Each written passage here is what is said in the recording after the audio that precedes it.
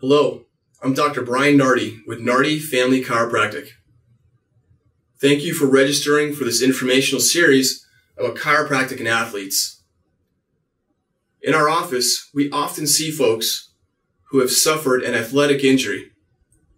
But did you know that chiropractic helps improve athletic performance by improving focus and concentration, reaction time, strength, and agility, all through a simple chiropractic adjustment. So over the next few weeks, you're going to be receiving some sport-specific content. We thank you for viewing and have yourself a happy, healthy day.